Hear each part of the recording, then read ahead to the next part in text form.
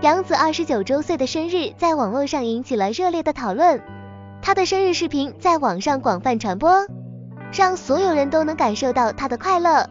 可以说，小紫在自己的生日宴会上开心的跟个小孩似的。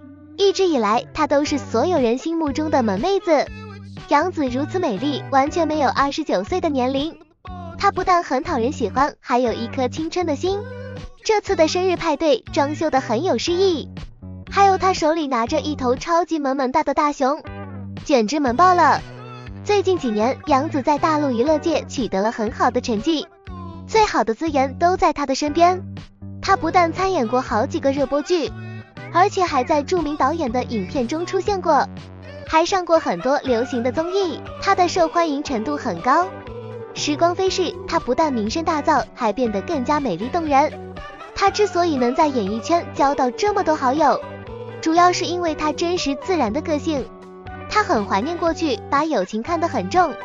人们第一次知道杨紫，是因为她是一个小演员。在热播的《家有儿女》中，她出演了夏雪的角色。她在这出戏里演得很好。她不但很讨人喜欢，还很会演戏。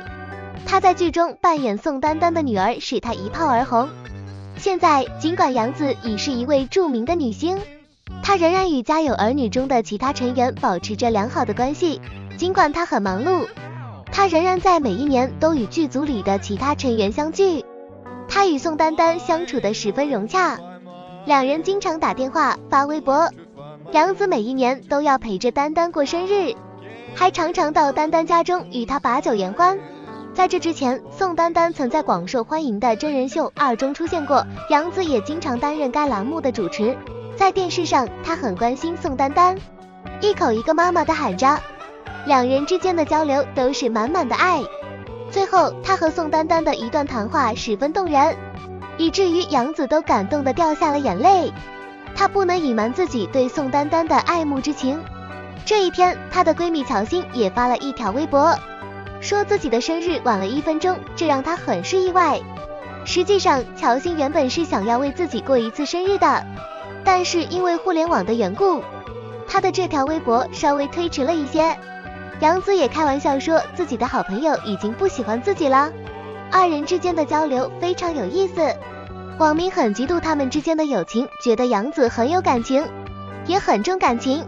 总之，杨紫的生日派对吸引了众多网民的注意与热议，而她和家有儿女的工作人员和好朋友宋丹丹之间的关系更加感人。杨紫的乡愁与真诚的人格魅力令人钦佩，同时也使人们对她的前途有了更多的期望。身为一个媒体人，我很好奇杨紫将来的发展之路会是怎样的呢？她还有什么令人惊讶的地方？我很期待她的表演生涯。